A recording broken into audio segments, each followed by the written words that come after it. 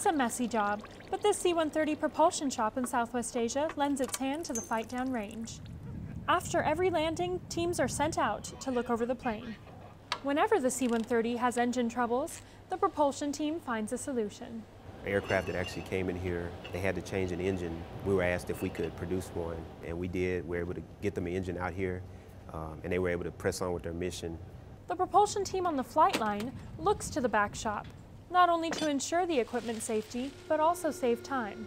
We would have to sit here and wait for hours, if not days, for maybe just one part. Where that particular part, with it being here, we wouldn't have to wait. We could go back out there and fix the airplane, get it back in the air. The longer that the planes are on the ground, the less time that they spend in the air, perhaps bringing vital supplies to someone that needs it at a forward location.